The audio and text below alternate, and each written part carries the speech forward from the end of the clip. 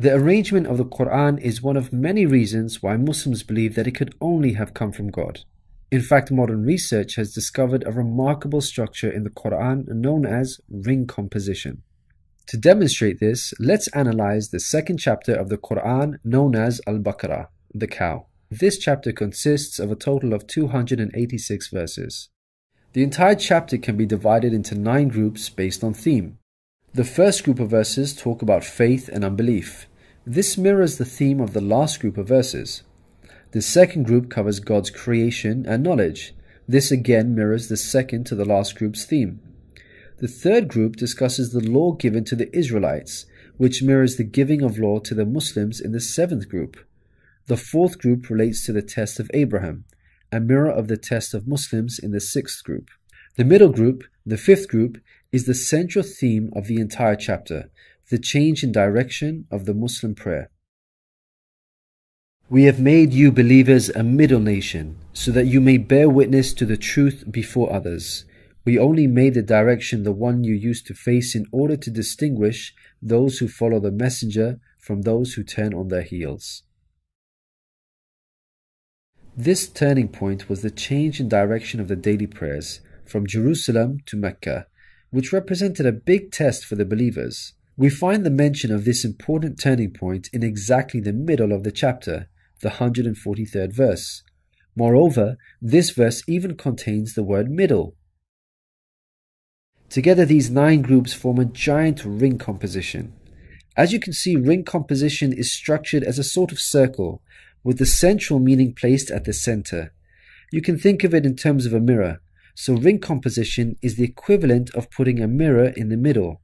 What is mentioned in the first half will be reflected in the second half.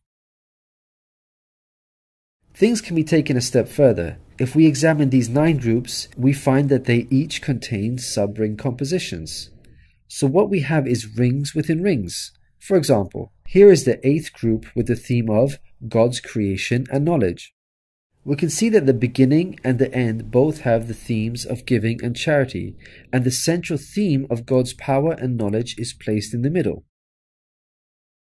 Things can be taken further still. This sub-ring contains yet another ring within itself. This is the 255th verse known as Ayat al-Kursi, the verse of the throne. Just like the chapter which contains it, the verse of the throne can be divided into nine groups based on theme.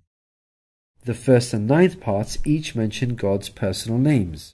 The second and eighth parts both state that God never tires. The third and seventh parts describe that God owns everything in the heavens and the earth.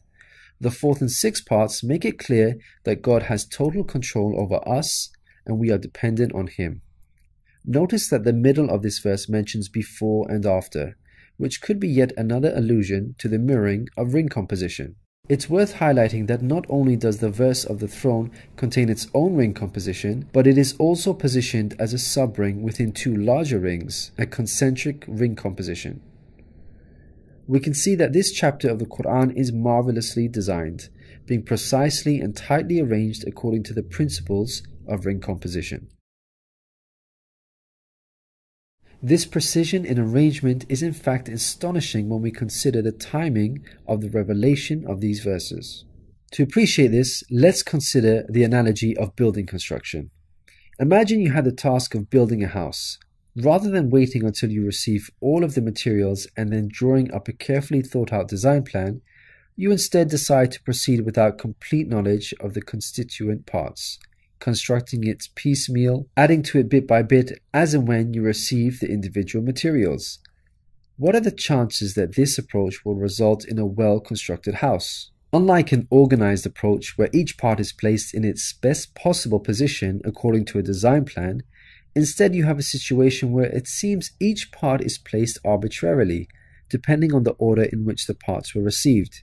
In such circumstances, you would most likely end up with a very poorly designed house, liable to collapse at any time. It is highly unlikely, perhaps even impossible, that this disorganized approach would end up with the same stunningly designed house as an organized approach.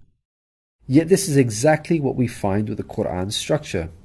The builder in our example is the Prophet Muhammad, peace be upon him. The house that he began to build since its first verses were revealed to him is the Quran. The rooms and bricks in our construction example are its chapters and verses. He can never have a design plan in place for the Quran because the revelation of many of its verses depended on events that were out of his control, such as the social developments and challenges that he faced throughout his prophethood. For example, believers would come up to him and question him on a particular matter, or his enemies would challenge him.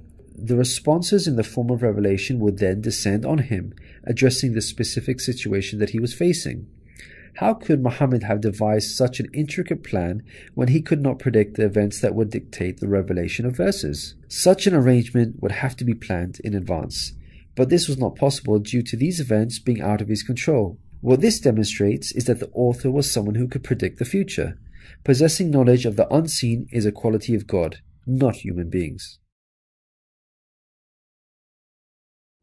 Some critics may point out that books prior to the Quran had this literary style and therefore we cannot use this as an evidence for the Quran's divine origin.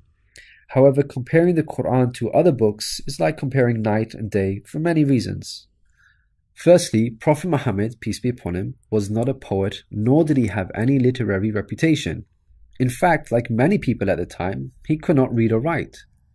Secondly, most people would assume that the Quran is arranged chronologically, starting with the first revealed verse and ending with the final revealed verse.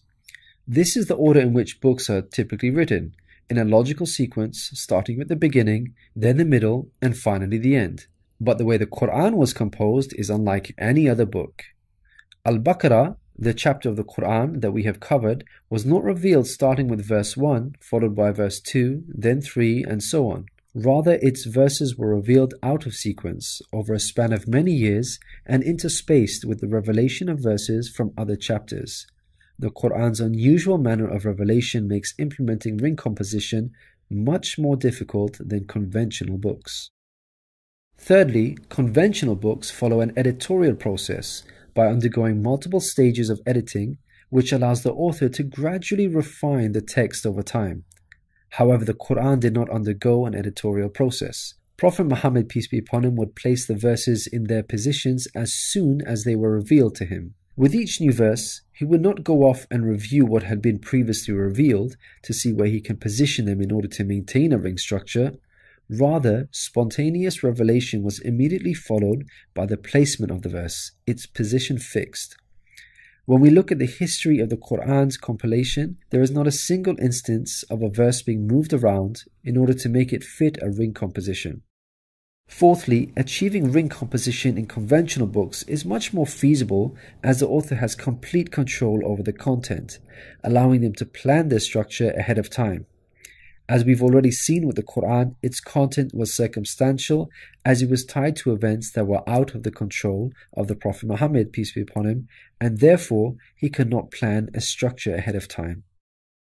Fifthly, the Quran was first revealed as an oral recitation, not in written format. With written books, you can easily plan a structure because you can quickly and conveniently refer back to what you have written previously. But with a recited text like the Quran, the Prophet Muhammad, peace be upon him, would have had to rely on his memory in order to recall what was previously revealed, a much greater challenge. In light of all these difficult circumstances, wouldn't you expect the Quran's structure to be jumbled? What we find against all odds, however, is that the Quran contains a remarkably sophisticated structure. The circumstances of the Quran's revelation, together with its precision and harmony, represent a compelling argument for its divine origin. Your companion is neither astray nor being misled, nor does he say anything of his own desire. It is no less than inspiration sent down to him. He was taught by one mighty in power.